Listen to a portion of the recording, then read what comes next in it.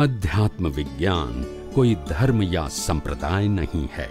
ये spiritual science है, जो कुदरत के कानून पर आधारित है। ये विज्ञान पूरे ब्रह्मांड के सभी रहस्यों को उजागर करता है और जीवन के सभी पहलुओं को समझने के लिए एक नई दृष्टि देता है। इसी को आर्ट ऑफ़ विजन कहते हैं।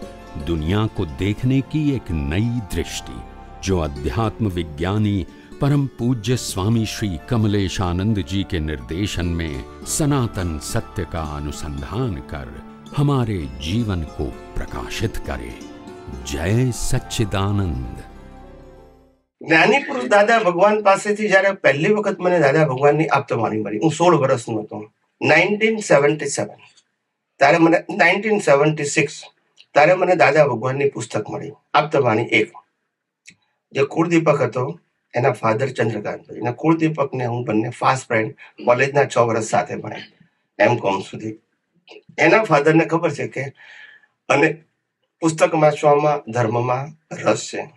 અને દીક્ષા લેવાનો ભાવ હતો એ એમને ખબર હતી મારા મધરને એના મધરની પણ ફ્રેન્ડશિપ હતી. એટલે એમને મને આપતવાણી એક આપ. મને વાંચવાનો બહુ શોખ હતો એ વખતે. બિફોર મેટ દાદા ભગવાન. બહુ જ પુસ્તકો વાંચ્યા હતા.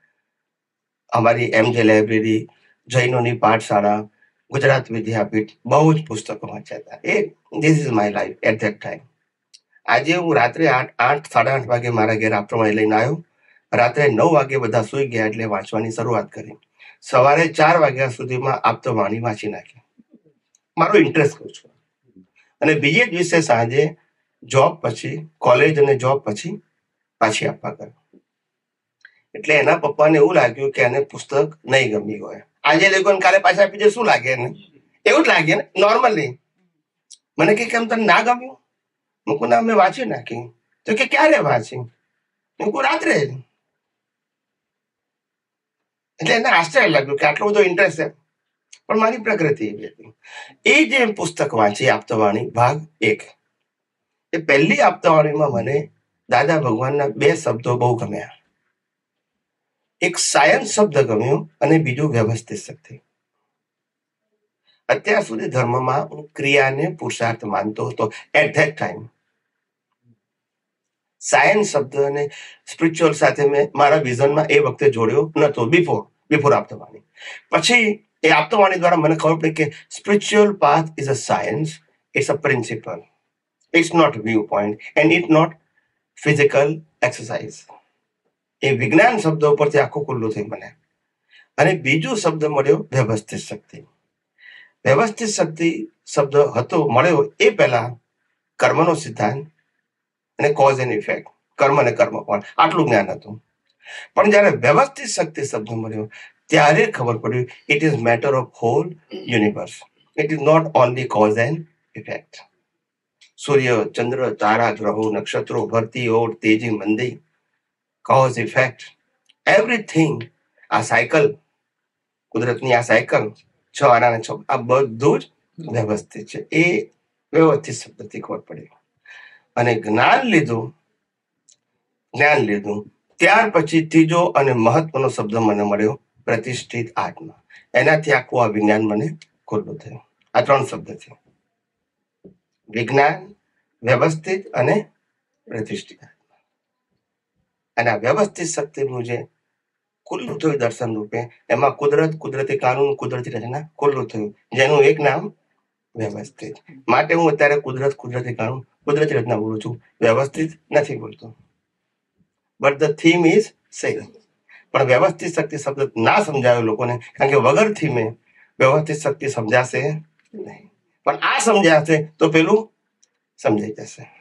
એટલે ત્રણ શબ્દો મને દાદા ભગવાન પાસેથી મળ્યા હતા. જેના આધારે આખું આ વિજ્ઞાન ખુલ્લું છે ખ્યાલ વિજ્ઞાન વ્યવસ્થિત અને જ્ઞાન લીધા પછી પ્રતિષ્ઠિત આત્મા અત્યાર સુધી પુરુષાર્થ કરનારો કોણ હતો એની ગેર બેઠી ભલે આ શાસ્ત્રો વાંચ્યા પણ ગેર નથી બેઠી એ વ્યવસ્થિત પ્રતિષ્ઠિત આત્મા શબ્દ આવ્યો પછી એમાં ચાર્જ પ્રતિષ્ઠા આત્મા ડિસ્ચાર્જ એ બધા શબ્દો આવ્યા ને એના ઉપર ચિંતન મંદન થયું પછી કારણ કે એ સબ્જેક્ટ હતું નહીં મારા માટે ધર્મના શાસ્ત્રોમાં આ શબ્દ નથી મળે પછી આપણે પ્રોસેસ થાય ને. એટલે એ શબ્દ આ સાયન્સની લિંક ખોલવામાં પ્રતિષ્ઠિત આત્મા શબ્દ મને બહુ હેલ્પ કરી. કે મિસિંગ લિંક હતી.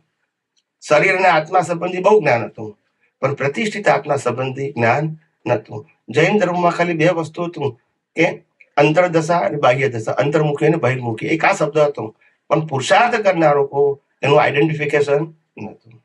એ દાદા ભગવાન થકી મળ્યું ત્યાર પછી આખું આ વિજ્ઞાન આખું ખુલ્લું થયું. એટલે આ ત્રણ શબ્દો મારા જીવનમાં આ વિજ્ઞાન ખુલ્લું કરવામાં અફેક્ટિવ થાય. ખ્યાલ આવે ને? બાકી બધું તો થિયોરિટિક જ્ઞાન તો બધું જ હતું. પહેલેથી જ હતું. એટલે મારે એ બધા જ્ઞાનનું મારા માટે ઇમ્પોર્ટન્ટ હતું હતું મારી પાસે. પણ આ આટલી વસ્તુ બહુ એફેક્ટ કરી મને.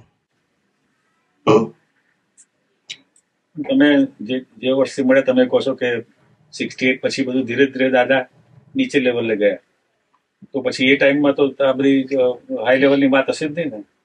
મેં કીધું ને મેં મેં એટેન્શન બહુ, મેં હું આંખો બંધ કરીને જ બેસતો હતો. કારણ કે એમાં મને ખબર પડે કે બે કલાકની અંદર ચાર કે પાંચ વાક્યો એવા હોય કે જેમાં સાયન્સ હોય. ક્યારે ગયું? બાકી બધું? જે પાંચ આજ્ઞા, પછી સત્સાધનો, પછી સામાજિક વાતો, પછી ધાર્મિક વાતો, એના જ બધા આન્સર હોય. અને લોકોના પ્રશ્ન પણ એ જ હતા. ખ્યાલ આવ્યો? એટલે એ મારો ટોપિક નતો. ખ્યાલ પણ એમાં ક્યારેક ક્યારેક સિદ્ધાંતની વાત નીકળી જાય. તો એવું મને કેશ કરી લેતો હતો. દેટ્સ ઇટ મને દાદા ભગવાન કહેતા હતા, કદાચ તમે લોકોએ સાંભળ્યું કે વાંચ્યું હશે, કે આ એક મણ રૂમાંથી એક વાલ સોનું કાઢવાનું છે. જો તમે કદાચ શબ્દ વાંચ્યો કે સાંભળ્યો ને પણ વાંચ્યો હોય તો. એક મણ રૂ, એક મણ રૂ એનું બલ કેટલું હોય ખબર છે? એમાંથી એક વાલ સોનું કાઢવું.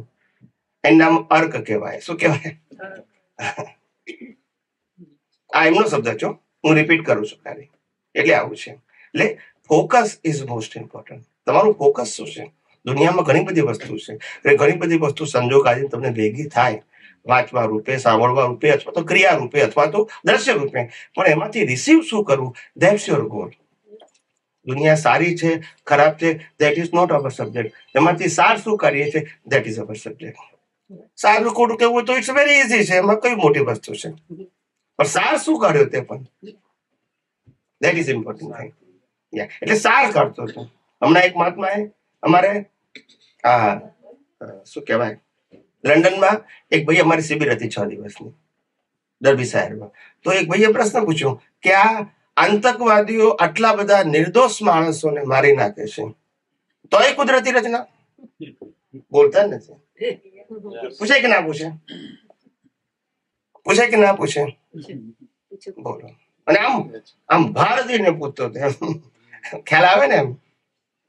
મને કે આટલા બધા આતંકવાદીઓ આટલા બધા લોકો નિર્દોષ વ્યક્તિને મારે જેની સાથે કોઈ કન્સર્ન નથી. એને મારી નાખે અને પાછા એન્જોય કરે. પોતે ટાર્ગેટમાં સફળ થયો એમ. જયારે એને પકડે ત્યારે આમ આમ બોલે ને ત્યારે એમ કે નહીં આઈ એમ વેરી હેપી મને કશું કઈ અફસોસ થતો આવા પણ સ્ટેટમેન્ટ તમે સાંભળ્યા હશે ઓડિયો વિડીયોમાં આવે જ છે. એટલે આવું આવે ત્યારે સામાન્ય વ્યક્તિને અસર થાય ને. આટલા બધા માણસોને મારી નાખે છે. ત્યારે મેં એમને કીધું કે જેને સજા હોય જેને જે નિર્દોષ હોય એને સજા ના હોય અને જે સજા થાય એ નિર્દોષ ના હોય that the law of nature તમારી દ્રષ્ટિમાં એ નિર્દોષ છે મરનારો એવું તમને દેખાય છે પણ કુદરતના કાનૂનમાં નિર્દોષ નિર્દોષને સજા ના હોય ને જેને સજા થાય એ નિર્દોષ ના આ લો ઓફ નેચર છે. કદાચ ચામડાની આંખોથી તને ના દેખાય. ઇટ ઇઝ પોસિબલ છે સેમ વિથ યુક્રેનિયન તો બધું એક પ્રિન્સિપલ તો એક જ ઇન્સાન સિદ્ધાર્થ તમને મેં ખાલી વાત કરી એક્ઝામ બધે સમજે પ્રિન્સિપલ તો એક જ બધે એપ્લાય જ કરવાનું. યસ બીજા શાસ્ત્રોમાં મોટેથી બોલજો. બીજા શાસ્ત્રોમાં વ્યવસ્થિતનું સમજાયેલું છે કઈ? ના. ના. કર્મ અને કર્મફળની વાતો છે. વ્યવસ્થિત શબ્દ દાદા ભગવાનનો અનુભવ પ્રમાણ છે. બીજા શાસ્ત્રોમાં નથી. કર્મ અને કર્મફળની વાતો છે. બધા વેદાંતમાં, જૈનિઝમમાં, ગીતામાં બધે છે. વ્યવસ્થિત શબ્દ મૂકેલો છે. પણ નોટ સબ્જેક્ટ ટુ દાદા ભગવાન જે કર્યું છે ને, એવી રીતે નથી મૂકે શબ્દ તો વ્યવસ્થિત છે જ. એક થોડો કે નવો છે. પણ એમનું જે પ્રેઝન્ટેશન છે ને, એ એમનું યુનિક છે. શબ્દ તો હજારો વર્ષોથી છે. એમનું પ્રેઝન્ટેશન વ્યવસ્થિત ક્યાં વાપર્યો છે? દેટ ઇઝ ઇમ્પોર્ટન્ટ એ કોઈએ નથી વાપર્યું. વ્યવસ્થિત શબ્દ તો અમે તમે હજાર વખત બોલાય છો વ્યવહારમાં.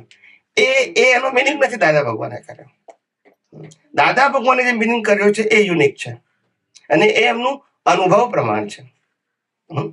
અમોને મોક્ષ મળતો તો છતાં રોકાય ગયા જાણી અમારી ભાવના હતી જગત કલ્યાણ કરવાની. વ્યવસ્થિત શોધને કાજે. એ પણ આવે છે. એમની શોધ હતી. અને એ શોધ એમને મળી. એ જગતને એમને આપી વિચ ઇઝ ઓન એક્સપિરિયન્સ પોતાનો અનુભવ પ્રમાણ કે અને એક સિદ્ધાંત ધ્યાનમાં રાખજો when the persons they have a own experience they don't require the certificate from the world આ આ પ્રિન્સિપલ ધ્યાનમાં રાખજો. રામકૃષ્ણ મહાવીરને અનુભવ થયો હોય ને દુનિયાને જે કંઈ પણ કહે, એ દુનિયા એક્સેપ્ટ કરે કે ના કરે તે don't require the certificate because of his own experience બિન અનુભવી પુરુષના સર્ટિફિકેટની અનુભવી પુરુષને જરૂર નથી હોતું. You accept or not that's your subject સમજી ગયા? મહાવીર પણ અનુભવની વાત કરે, ના સમજાય ગોસાલકને બોલતા નથી. એટલે મહાવીર ચેન્જ કરી નાખે. ના સમજો કોઈ શું કે છે? Is try is level best પ્રયત્ન કરી શકે પણ ના સમજો તો ઇટ્સ ઓકે એને સર્ટિફિકેટ જરૂર નથી કે ના ગોસાલક કેમ કે નહીં મહાવીર સાચા છે એવું કે ત્યાં સુધી સમજાવવું જરૂરી નથી. ના સમજવું તો ના સમજાય સમજાય છે? દાદા શું કહેતા હતા? કે અમે કોઈ પ્રશ્ન પૂછે તો એને સમજાવીએ પછી પાછું ના સમજાય તો બીજા એંગલથી સમજાવીએ પછી ના સમજે તો ત્રીજા એંગલથી સમજીએ પછી ના સમજે તો અમે સમજી જઈએ. ના સમજાય. ખ્યાલ અમે સમજી જઈએ બસ. કે હવે આ જ કુદરતી આ જ વ્યવસ્થિત છે. ખ્યાલ આવ્યો કે નહીં? દરેક વ્યક્તિની એક લેવલ લેવલ ઓફ અન્ડરસ્ટેન્ડિંગ હોય એની કેપેસિટી હોય. એનાથી બિયોન્ડ વાત ના સમજાય એને. મહાવીર સમજાવે તોય ના સમજાય. જરૂર નથી કે કોણ સમજાવે છે. જરૂર તમારું ડેવલપમેન્ટ નથી. ના સમજાય. ઓલો ઓલો સંજોને ઈ પણ વ્યવસ્થિત થાય. કોણ? હા હા. વ્યવસ્થિત. એટલે વ્યવસ્થિત નો મતલબ કે એનું લેવલ ઓફ અન્ડરસ્ટેન્ડિંગ નથી. એ પ્રસંગ તમને ખબર છે? ના. ગોસાલકનું કહું? હા એ તો આશ્ચર્ય ને? ના સગડી નહીં. કહું કહું કહું. ગોસાલક ભગવાન મહાવીર છદ્મસ્ત એટલે કેવળ જ્ઞાન પહેલા એની સાથે સાથે ફરતો હતો. શું ફરતો હતો? સાથે સાથે. એમનો શિષ્ય તરીકે નહીં. હી બિલીવ આઈ એમ શિષ્ય. Mahavir never says you are my શિષ્ય. બટ એને એને સાથે સાથે ફરતો હતો એમની સેવા ચાકરી કરે ઇઝ ઓકે ઓથોરાઇઝ શિષ્ય નહીં. માની એને માન્યું હતું કે હું હું શિષ્ય છું એવું માને હું સેવા કરીશ. કારણ કે એને કંઈક પ્રાપ્ત કરવું હતું. મહાવીર એને શિષ્ય બનાવ્યો. નતો તીર્થંકર કેવળ જ્ઞાન પહેલા કોઈને શિષ્ય બનાવે પણ નહીં. એમના ઉદયમાં એ ના હોય અને બનાવે જ નહીં. ઇટ્સ ખ્યાલ એનીવે તો એ પાછળ પાછળ ફરતો હતો. આજે સાડા બાર વર્ષ થાય ને કેવળ જ્ઞાન. દીક્ષા પછી. એ એ સમયની વાત છે. એટલે એક વખત ભાવિ, ભગવાન મહાવીર જંગલમાંથી વિચારતા હતા. ચોમાસું આવવાના પહેલા બિફોર ચોમાસું.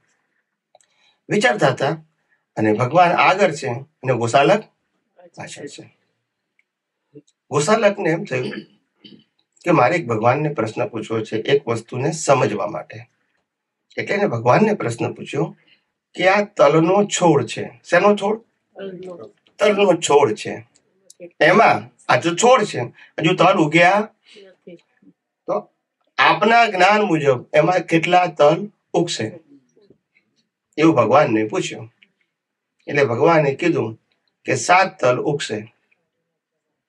ખ્યાલ આવ્યો? પછી ભગવાન તો આગળ ગયા? એટલે એને છોડ શું કરી નાખ્યો ઉખેડી નાખ્યો. એને એમ થાય કે જો ભગવાન સાચા પડે છે ખોટા પડે છે. સી આ એની ક્યુરિયોસિટી હતી જે હશે તે. ખ્યાલ આવ્યો? એટલે પછી પછી તો ભગવાનની પાસે ગયો પછી ભગવાને ચોમાસું કર્યું ચાર મહિના. ગામમાં કે whatever the place okay then they come back from the same place અને પાછો આવતા હતા. તે વખતે ત્યાં આગળ જે છોડ હતો તોડેલો છોડ. એના ઉપર માટી બાટી લાગી અને જામી ગયો હતો જમીનમાં. અને પાણી પડ્યું એટલે શું થઈ ગયો હતો? ઉગી ગયો હતો. અને તલ કેટલા હતા? સાત. હવે આ એને જોયું. ગોસાલા કે ભગવાનને તો કોઈ પડી જ નથી ને. એને તો સાચા ખોટાનો પ્રશ્ન હતો જ નહીં ને.